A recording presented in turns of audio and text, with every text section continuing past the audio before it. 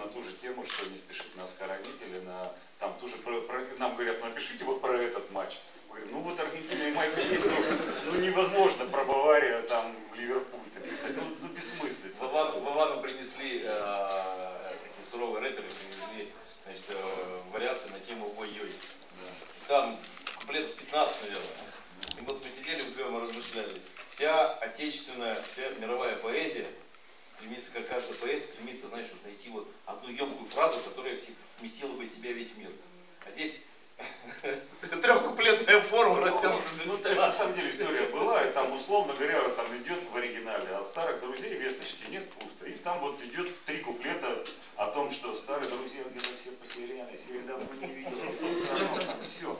Я звоню, где вы, парни, почему вы не звоните мне, почему все? Вы не понимаете, что у меня на душе, да у меня на душе пусто, понимаете, вот. Э, И Поэтому альбомы, конечно, если раньше выходили они там раз в год, то сейчас там мы записываем раз в 4 года новый альбом, когда накапливаются вот эти темы, эти песни, о которых ты понимаешь, что да, на эту тему ты еще не говорил, на эту тему ты еще не пел.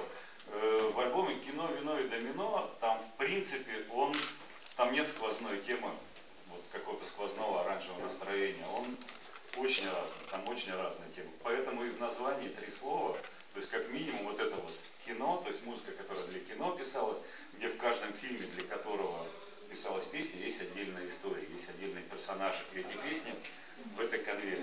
Есть песни «Вино», такие, как мы их называем, таким алкотрэш такой, ну вот, обыденная наша жизнь. Да? И есть такой домино, это вот взрослые мужчины, которые где-то доминошне сидят, и достаточно откровенные разговоры друг с другом говорят, там что-то вспоминают, э, о чем-то строят план.